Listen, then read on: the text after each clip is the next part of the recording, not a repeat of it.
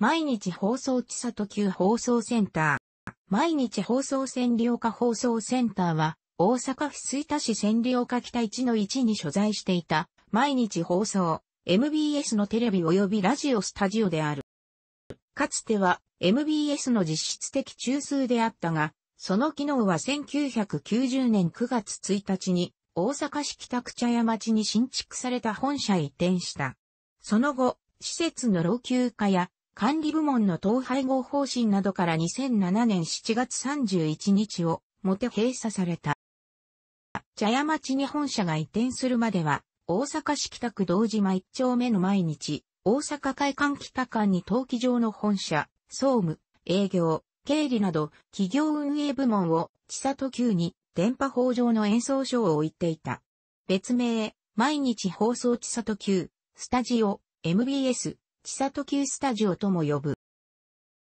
JNN 系、TBS 系列局で本社演奏所以外にこのような放送施設を所有しているのは東京放送ホールディングス TBSHD が横浜市青葉区に所有している緑山スタジオシティと東京都世田谷区東京メディアシティ内にある TBS キヌタスタジオそして千里急の3カ所であった。ただ、MBS スタジオイに USJ が完成した2001年以降は、茶屋町本社と USJ スタジオに移行しており、当センターはほとんど機能していなかったが、茶屋町本社が万が一喪失不能になった場合に備えた予備系として残していた。ラジオ第一スタジオは音楽レコーディングのスタジオとしても使われていて、加山雄三のヒット曲、君といつまでもがレコーディングされたスタジオとしても知られている。その後、大西ゆかりらも使用していた。また以前は MBS テレビの放送開始時と放送終了時の映像に当初が撮影されていた。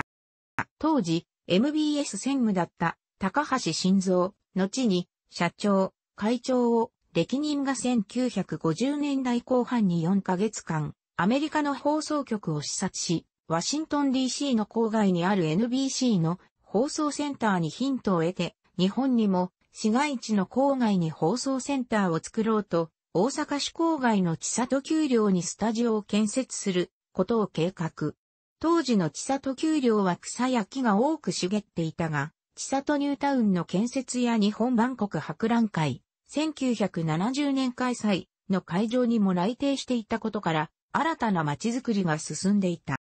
千里急放送センターは1960年に完成、鉄筋コンクリート2階建てで、事務所棟とスタジオ棟、スタジオ数、テレビ4、ラジオ8からなり、1961年から運用を開始した。大阪市内にあった MBS のほとんどの部署が移転し、MBS の実質的な中心施設としての機能を持っていた。完成当時は教育局だった日本教育テレビ、ネットテレビ、現テレビ朝日とネットを組んでいたことから、自らキー局となって発展しようとした将来、展望を見据えて設計され、在阪局では、局舎が小さいものの東京のキー局に勝るとも、劣らない規模と最新鋭設備を誇った。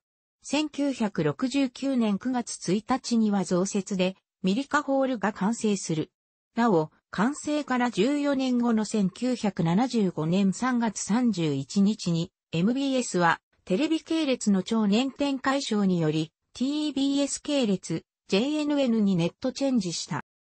2001年3月31日にスタジオイン、USJ への移転以来、業務をラジオの収録や放送番組の記録保存業務に縮小し、2007年、平成19年1月に現状のゴルフセンターと新設される、千里急、ミリカセンター敷地を除く。千里急放送センターの全敷地を。大手不動産会社5社の企業連合に売却したと。発表した後、2007年7月16日の。ラジオ特番を最後に、当センターからの電波喪失は事実上終了し、同月31日に施設そのものも閉鎖され、46年の歴史に幕を閉じた。なお、跡地には大規模なマンション、ザ・ミリカシティと吹田市立占領下北小学校、2015年4月開校、の学校施設が建設された。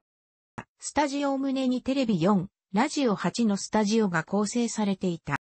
1990年に茶屋町本社へ移転するまでの番組に対する宛先は、郵便番号565大阪、水立里局毎日放送、番組名係と知らせていた。ただし、アップダウンクイズは、千里急ではなく、スポンサーである、ロート製薬本社と同じ、郵便番号544大阪、生野局支所箱1号ロート製薬アップダウンクイズ、係だった。これは、ロート製薬とつながりが深かった広告代理店の1万年社、1999年に自己破産が募集等を請け負っていたためである。また、同じく毎日放送制作 TBS 系全国ネット番組でも世界丸ごとハウマッチ、世界丸ごと2001年の番組中ほど、ただし後者はエンディングのスタッフロール表示直前と最終盤に、あた視聴者向けのプレゼントクイズでさえ、世界丸ごとハウマッチ視聴者プレゼントの項でも触れている通り、東京支社制作の番組として扱われていたことから、当時の本社を管轄していた、吹田千里局宛てではなく、東京支社を管轄している芝郵便局支所箱4号宛てに郵送する胸のテロップが最終版にて表示されていた。敷地内には、スタジオ、事務所胸以外にも、公開ホール兼収録スタジオだったミリカホール、閉鎖や MBS ミリカスポーツ、MBS ミリカレーンズ、ボーリング場、ミリカプールテニスとミリカゴルフセンター、野球グラウンドレストランから構成されていたが、ゴルフセンター以外は2006年末で閉鎖。民間放送としては、初めての放送資料館だった放送文化館、メガバイトミリカレーンズの建物を転用。2003年3月頃に廃止などの施設があった。開設当初は TBS 緑山スタジオに現存するような巨大なオープンスタジオスペースも設けられていた。その後、敷地内の一部、パターゴルフ場跡地が売却され、跡地にイオン系列のスーパーマーケット、マックスバリュー吹田千里9店、イオングループの三広が、運営が新たに建てられた。また敷地内の野球場で1990年にボーリング調査を行った際に温泉が湧き出し、1995年、ミリカ天然温泉地里の湯として一般向けに営業を開始したが、2006年12月31日で閉鎖された。放送センター周辺には、千里丘陵、万博記念公園、太陽の塔、岡本太郎作、旧エキスポランド、廃園、吹田インターチェンジ JR 千里海駅などがある。千里岡駅と阪急茨城市駅からそれぞれ送迎バスを運行していたが、千里の湯閉鎖と同時に運行されなくなった。現在は、かつて、千里急放送センターの入り口があった場所付近に、吹田市コミュニティバスのミリカヒルズ前停留所とミリカヒルズの住民専用バスの停留所が設置されている。放送センターの正面玄関前には、イギリス人彫刻家、フィリップ・キング作の鉄鋼彫刻、空が展示されていた。これは1969年に日本鉄鋼連盟と毎日新聞社の主催による国際鉄鋼彫刻シンポジウムの示せ作品だったものの一つで、翌年開催された日本万国博覧会では、会場内の池の周辺、せせらぎ広場付近に展示されていた。その後万博閉幕後に毎日放送が引き取り、千里急放送センターの正面現前に移設し、長年展示していたが、2008年には放送センターが閉鎖されたことに伴って、約38年ぶりに万博記念公園内に里帰りを果たし、現在も公園内で見ることができる。茶屋町への本社移転後もテレビラジオの中継車の車庫が千里急放送センターにあったため、ナンバープレートの地名表示は、北節、東大阪地域で登録される大阪ナンバーとなっていた。なお、閉鎖後もしばらくは、千里急ミリカセンターに車庫があったため、大阪ナンバーのままになっていたが、茶屋町に新設されたビーカーに車庫が移転したため、何はナンバーへの切り替えが進められている。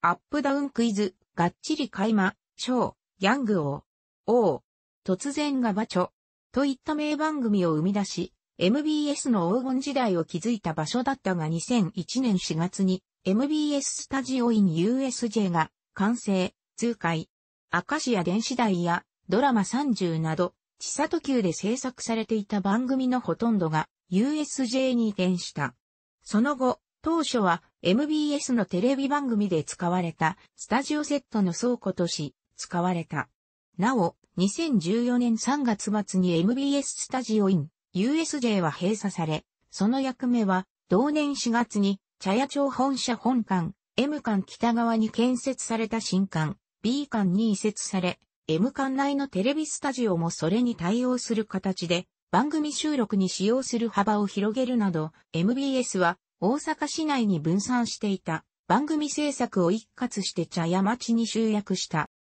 ラジオスタジオは茶屋町に移転後、ラジオドラマの収録などで使用された。労働組合の事務所など一部の部署は、しばらくの間地里急に残っていた。晩年は、ラジオの収録や記録保存業務以外ではほとんど使用されず、一時はリニューアルされる計画もあったが、建物の老朽化に加えて、年間の管理費高騰の問題もあり、2007年7月31日に閉鎖された。閉鎖に先立ち、2007年4月から6月までの間、ありがとう浜村厚ですや、MBS ヤングタウンなどが放送された、ラジオスタジオを開放するなど、一連の記念イベントが開催されるとともに、各種の別番組が放送された。同年7月16日には、それらの集大成とも言われる長時間の特別番組が放送された MBS 千里 Q フェスティバルファイナルを参照。なお、テレビ用の最後の収録は、チチンプイプイで放送された、坂田東十郎と、住淳一との対談、2007年4月9日放送。満開の桜の下で撮影された。2007年1月9日に行われた MBS 社長、当時山本正宏の年頭会見で、千里急放送センターの土地、約13ヘクタールが売却されたことを明らかにした。買い手は、大京、長谷工コーポレーション、東京建物、新日鉄都市開発など、大手不動産会社5社の企業連合で、跡地には大規模なマンション、ミリカヒルズが建設中である。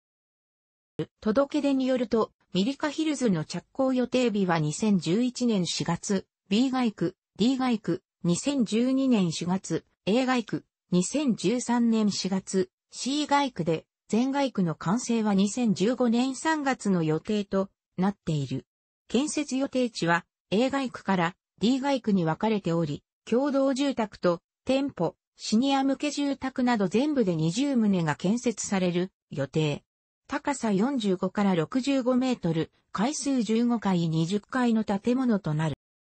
すでに完成した外区には MC 企画参加の千里ニュータウン FM 放送、FM 千里が運営するサテライトスタジオ、ミリカラジオステーションが設置され、同所で子供たちが番組制作に関わるミリカラジオクラブによる番組が放送されている。千里旧放送センターは当初2007年秋から取り壊される予定となっていたが事情により延期された。2008年3月1日時点では建物自体は現存していたが、2008年5月16日時点において、建物はすべて解体されている。用地売却後も、敷地内に所在する、ゴルフ練習場、ミリカゴルフセンター、MBS のグループ企業、ミリカスポーツ振興が運営はそのまま残っている。一方、ミリカプール跡地には、千里旧ミリカセンターが建設され、2008年2月6日にオープンした。事業区域面積8074メートル、高さ9.40メートル、2階建てで映像、音源のライブラリーと事務所、倉庫、中継車庫が入っている。また茶屋町本社からラジオ放送の送出が万が一不能になった場合に備え、予備系として送出設備も設置されている。また、放送文化館のあった場所周辺にあたる吹田市千里91の4には、大阪緑府観光の車庫が2008年に建設されて運用されている。過去に運用されていたミリカホール、MBS ミリカスポーツ、ミリカ天然温泉千里の湯や、千里旧ミリカセンターなどの名称に使用されているミリカとは山桃のフランス語記及び学名で、千里急放送センター建設予定地に生えていた山桃の老樹に由来している。和茶山地天後も引き続き千里急で収録もしくは生放送。BR は茶山地天後に放送が開始された番組。BR は当初はスタジオまたは他のホール会場で収録され、後にミリカホールに移った番組。楽しくご覧になりましたら、購読と良いです。クリックしてください。